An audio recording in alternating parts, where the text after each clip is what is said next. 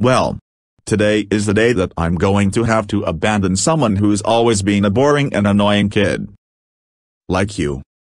What? What did I do? It's not what you did. You're boring and annoying. I'm gonna have to kick you out of the house, skedaddle. No, I don't want to leave. I said skedaddle, now.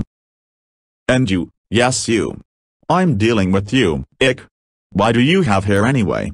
A character like you doesn't deserve to have hair.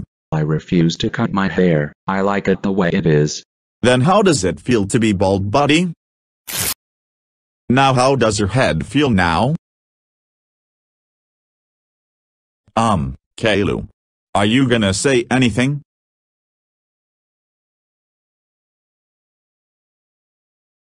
Caillou I can't tell if you're going to say something. Okay can you respond?